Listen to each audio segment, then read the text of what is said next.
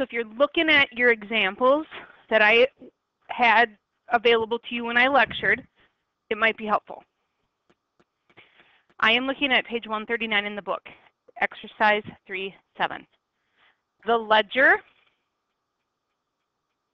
so like the little mini camps after we've journalized posted to the ledger, the ledger of the excuse me, Perez Rental Agency on March 31st of the current year includes selected accounts shown below and basically their balances before we did the adjusting entries.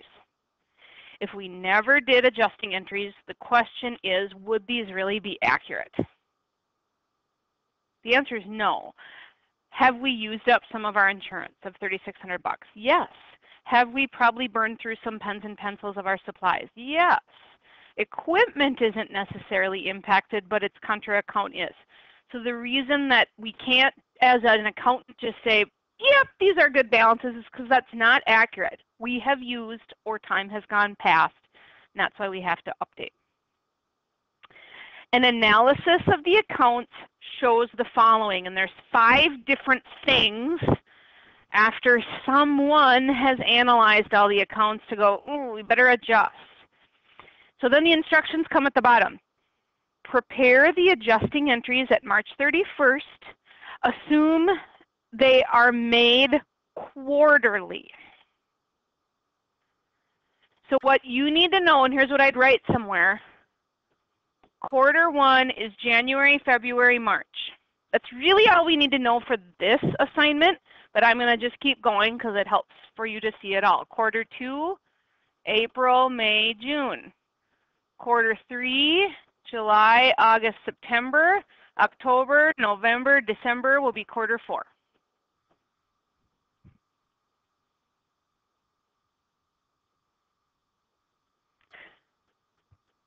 So unlike monthly that we've done, or unlike annually that we've done, we're doing adjusting entries for the quarter that has passed.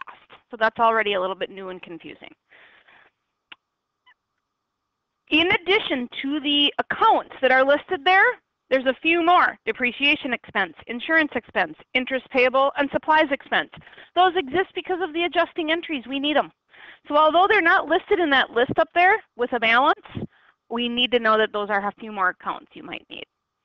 So basically, prepaid insurance, supplies, equipment, A, accumulated depreciation, equipment, that list, plus those ones that were just listed, depreciation expense, insurance expense, interest payable, and those would really be your only options for debits and credits.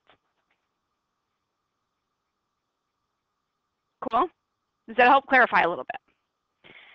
You got to know there's a debit. You got to know there's a credit. One of them has to be pulled from income statement. One of them needs to be pulled from balance sheet. So let's make a list of those as well.